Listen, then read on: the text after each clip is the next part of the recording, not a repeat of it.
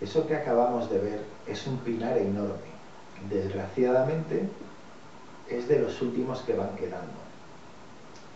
En tanto en cuanto es una masa arbórea que desprende oxígeno, todos nos beneficiamos de su existencia.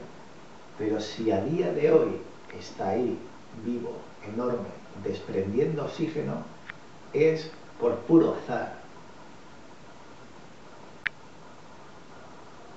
De lo contrario, las instituciones del Estado, ya sean locales o autonómicas, que son propietarias de la mayor parte del pinar, tendrían algún plan para cuidarlo y mantenerlo. Pero no es así, porque las cuadrillas que trabajan durante todo el año, incluyendo la temporada de invierno, que es cuando se supone que se apagan los fuegos, son escasas. Y las cuadrillas que se contratan en verano durante la temporada para prevenir los incendios, trabajan en condiciones precarias, como cualquiera puede ver dándose una vuelta por el pueblo y observando eh, esas pegatinas que hay en las farolas que ponen brigadas forestales en lucha. No hay ningún plan económico para mm, hacerse con los recursos del pinar, como podría ser revitalizar la extracción de resina.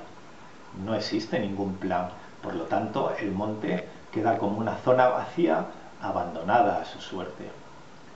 Tampoco existe ningún plan para que la propiedad del pinar pase a ser comunal. De esta manera, las iniciativas vecinales podrían prosperar de alguna manera en la gestión del monte, pero no lo hay.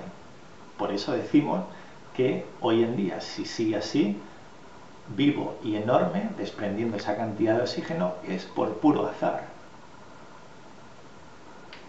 Y da igual que sean 3.000 hectáreas dedicadas a la producción de oxígeno de primera calidad, porque cuando el fuego diga pa'lante en un instante, la temperatura va a subir de 30 grados a 1800 y el pinar, como este videoblog, se va a fundir en negro.